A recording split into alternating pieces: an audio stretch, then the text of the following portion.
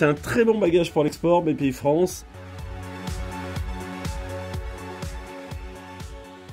La dernière mission export qu'on a fait avec eux, justement, c'est la mission Saks sur la côte Est, hein, New York, 5e avenue. Deux euh, objectifs phares. Déjà, la première chose, c'était de pénétrer le marché Saks, ça c'est la première chose. La deuxième chose, c'était d'être présent en vitrine avec eux, euh, chose euh, qui a été faite puisqu'on a été sélectionné. Donc, merci BPI. BPI France nous a aidé avec, notre, avec sa démarche export nous a donné le courage d'embaucher des personnes pour aller sur l'export, nous a donné confiance en nous. C'est un accompagnement, c'est un réseau de gens qui nous veulent du bien et qui peuvent nous aider à faire des bons choix euh, stratégiques en matière de développement international. J'aimerais bien que BPI aille encore plus loin, et c'est un rêve, en étant non pas un bagage, mais un avion cargo qui amènerait euh, tous les entrepreneurs de France sur différentes opérations, euh, que ce soit dans la transition énergétique, dans la tech ou ailleurs, parce que ça doit être la vocation de BPI France.